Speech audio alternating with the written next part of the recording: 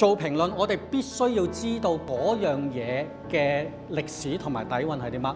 咁所以我哋要評論嘅時候，我哋一定要熟嗰樣嘢。我哋唔需要一定去做創作，但係要知。所以對於我嚟講，評論人係啲咩呢？係藝術家同埋觀眾嘅一個好重要嘅橋梁。